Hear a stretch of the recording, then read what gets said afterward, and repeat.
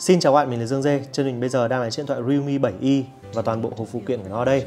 Cái chiếc điện thoại này thì được rất nhiều anh em reviewer đã mở hộp ra rồi. Tuy nhiên là ngày hôm nay thì mình mới có cơ hội để mà mở hộp ra cho các bạn xem.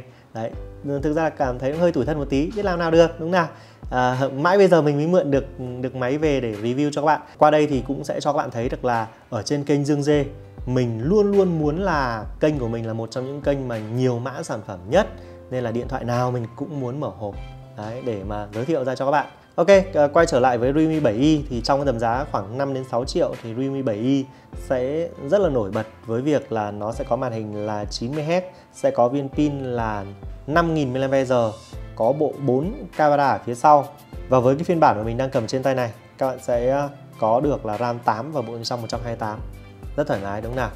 Rồi vậy thì ngoài cái điểm đó ra thì Realme 7i nó có những điểm gì khác và những điểm trừ nó là gì? Mình sẽ nói rất là rõ ràng cho bạn ngay trong video ngày hôm nay. Mình sẽ bỏ điện thoại qua bên cái đã nhé một chiếc điện thoại mà mình thấy là có cái cách phối màu mặt lưng tương đối là cá tính. Đấy hộp thì rất là trẻ trung rồi màu vàng đặc trưng của Realme. Đó rồi. Bên trong này chúng ta sẽ có gì đây? Chúng ta sẽ có cây đọc sim này. Chúng ta sẽ có ốp lưng dẻo này. Đây là ốp lưng dẻo tối màu nhá. Và chúng ta sẽ có thêm một cái tập sách dẫn sử dụng nữa.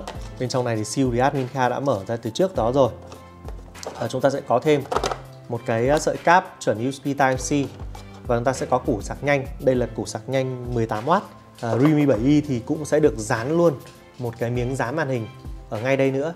Đấy, như vậy là chúng ta mua máy về là chúng ta chỉ việc dùng thôi. Không cần phải mua thêm bất kỳ phụ kiện nào nữa bởi vì là ốp lưng thì cũng đã có rồi và dán màn hình thì cũng đã có rồi.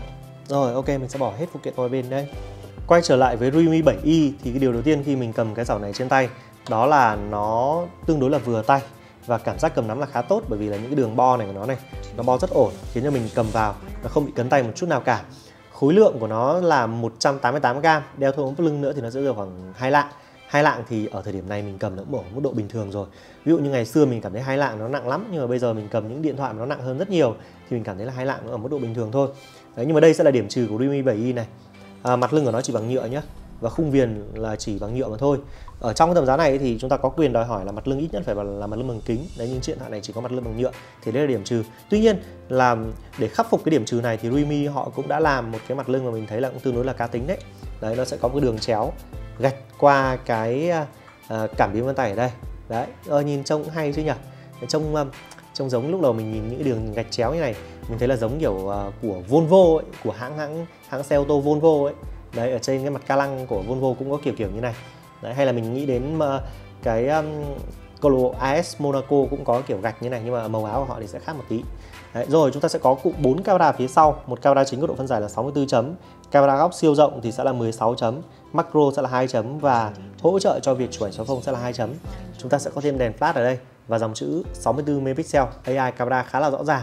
Logo của Realme ở dưới này cái mặt lưng này thì nó là mặt lưng bóng nên là nó sẽ để lại khá nhiều mồ hôi ở dấu vân tay. Tuy nhiên là mình nghĩ là nếu các bạn đeo thêm ốp lưng vào thì nó cũng sẽ giải quyết được vấn đề vân tay. Và thêm nữa đó là đeo ốp lưng vào thì nó cũng sẽ chống xước cho mặt lưng và chống va đập được tốt hơn cho cái chiếc máy này. Đấy, nói chung là chỉ cần đeo ốp lưng vào thôi thì nó sẽ giải quyết được mọi vấn đề.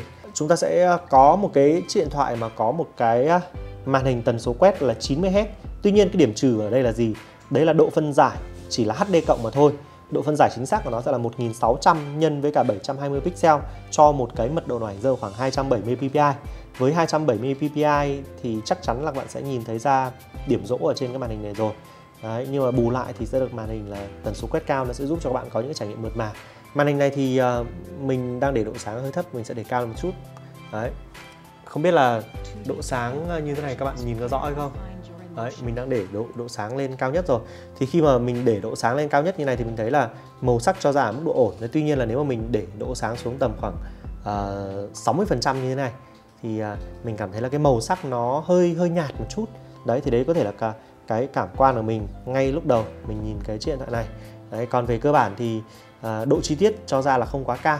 Đấy nhưng mà góc nhìn thì được cái là cũng ổn Ờ, rồi, mình thì mình chỉ đánh giá cao mỗi cái tần số quét của của cái chiếc điện thoại này thôi, chứ còn về màn hình thì mình không đánh giá cao lắm. Về hiệu năng thì sao?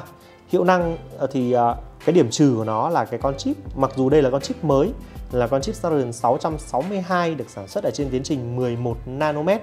Tuy nhiên là cái con chip Snapdragon 662 này thì không phải là quá mạnh mẽ ở trong cái tầm giá này, bởi vì rõ ràng là trong cái tầm giá này chúng ta có thể lựa chọn được một số những con chip đầu 7 rồi.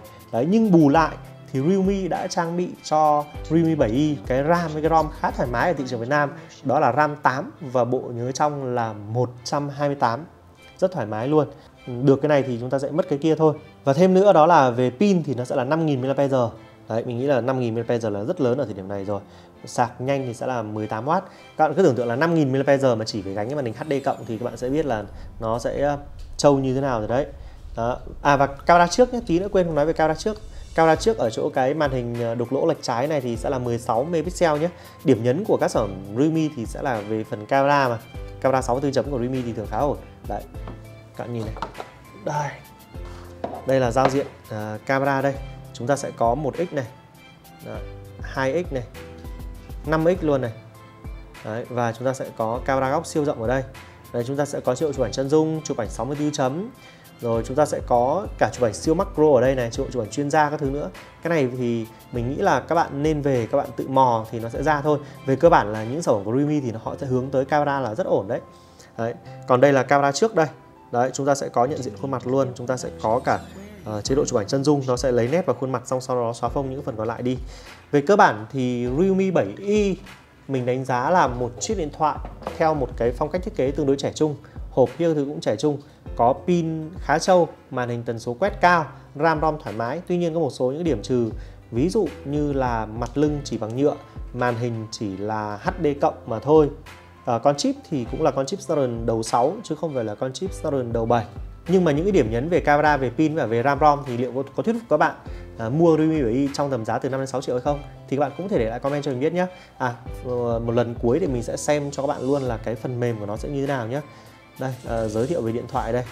Các bạn sẽ thấy này, Realme 7i này, phiên bản Realme, v, uh, Realme UI V1.0 này, Android 10, RAM 8, bộ nhớ trong 128 đây. Đấy, đây là những thông tin về cái sản phẩm này tiếng Việt thì chắc chắn rồi sẽ có luôn sẽ có sẵn cả set play luôn điểm số Antutu cho ra sẽ rơi vào khoảng ờ, 179.000 điểm GPU khoảng 33.800 còn CPU khoảng 67.000 điểm đấy đấy là những thông tin mà các bạn cần biết thêm nữa Ok, cảm ơn các bạn rất nhiều vì đã dành nhiều thời gian theo dõi video của Dương Dê. Còn giờ thì xin chào và hẹn gặp lại.